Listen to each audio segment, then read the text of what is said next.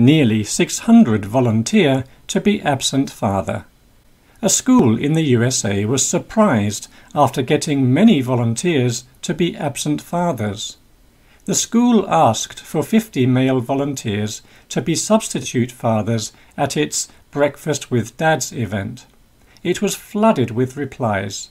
Nearly 600 men turned up at the event. The school's very first Breakfast with Dads event was to help community spirit. Most of the children come from poorer families.